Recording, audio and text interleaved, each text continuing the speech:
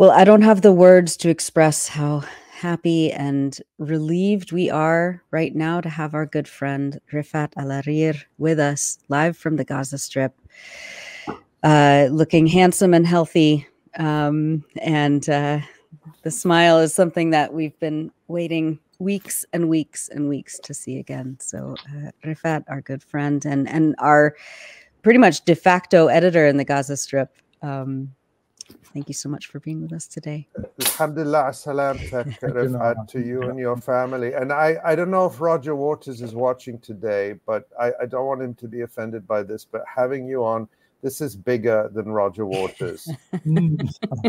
I, okay, I'll, I'll think of a career shift. Maybe I, I, I sing something, but you need to, you know, like clearly you know, close your ears. we'll take it.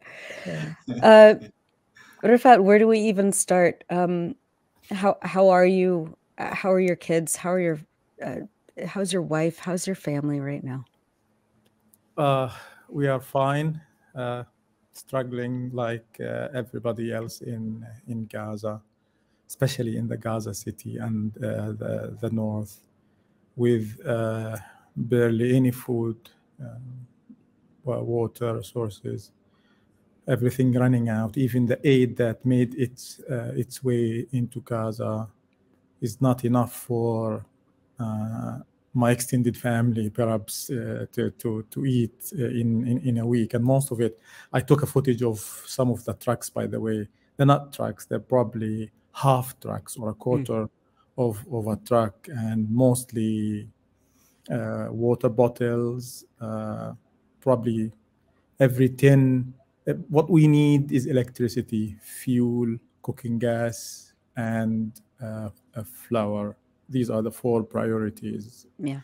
Uh, and we barely had any any any any of these. Uh, and many people will not be getting any of this or, because there are too many people.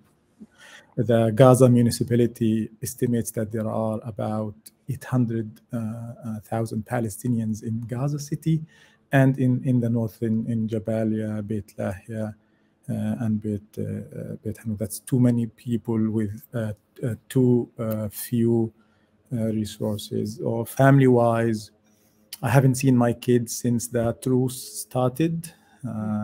they moved to another place, and I'm spending most of the time time running uh, to places uh, with internet connection so I can uh, be online uh, but they are they are good. Uh, yesterday, only yesterday, we made it to our place where we live in Tel Hawa, and I posted a video. It's complete and utter destruction.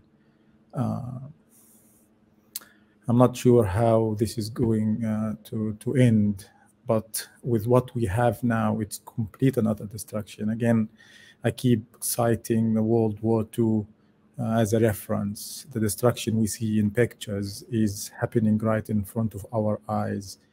Thanks for watching this video. Please subscribe to our YouTube channel, hit like, leave a comment. These engagements help us with the YouTube algorithm and it helps us to get around Silicon Valley censorship as much as possible. It does make a difference. You can also support our journalism by going to electronicintifada.net and clicking on donate now. Thank you.